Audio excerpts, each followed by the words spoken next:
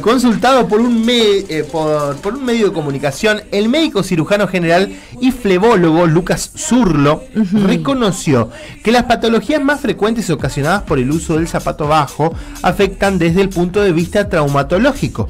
El zapato que no tiene nada de taco trae consecuencias a nivel eh, traumatológico eh, desde el punto de vista flebológico.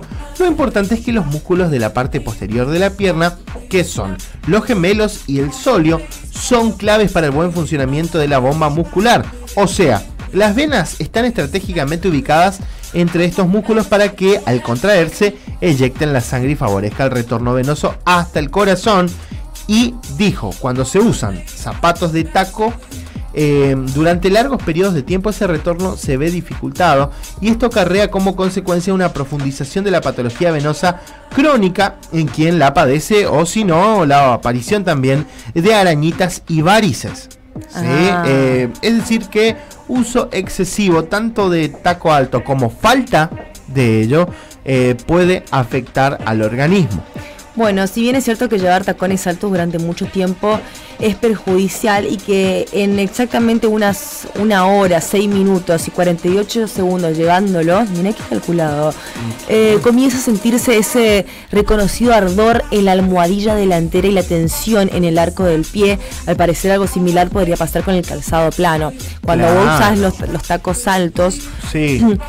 tenés tanta presión en, la, en la parte de adelante del pie, en la parte de abajo sobre todo, que te empieza a picar, a arder, eh, y si te lo sacás, se te hincha el pie, después te dificulta la hora de volver se hinchó el zapato mientras que lo estabas usando y cuando te sacás se nota ahí la marca, decís esto, acá se hinchó mal. Pero bueno, ¿qué característica debería reunir un calzado adecuado para utilizarlo día a día? Rofrano, el calzado, el calzado habitual debería reunirse las siguientes características. Las suelas deben tener cierta flexibilidad, pero no ser deformes. No deben ser ni demasiado gruesas ni demasiado finas, aproximadamente 1,5 o 2 centímetros, idealmente confeccionadas con algún material derivado de la goma que permita la amortiguación. Sí, la porción externa de la suela que contacta con el suelo debería ser rugosa, ¿sí? para permitir así también un correcto agarre y la porción interna de la suela que contacta con el pie debería ser blanda y confortable.